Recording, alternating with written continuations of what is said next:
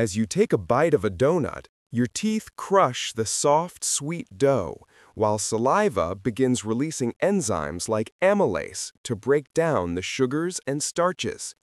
The chewed donut forms a soft bolus that slides smoothly down the esophagus via rhythmic peristalsis into the stomach.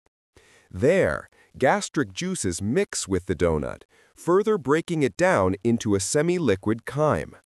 Nutrients, especially sugars and fats, begin to absorb in the small intestine, entering the bloodstream through the villi and capillaries.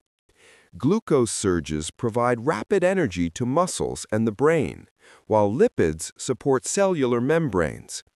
The gut's microbiome interacts with fibers and remaining sugars, producing beneficial metabolites.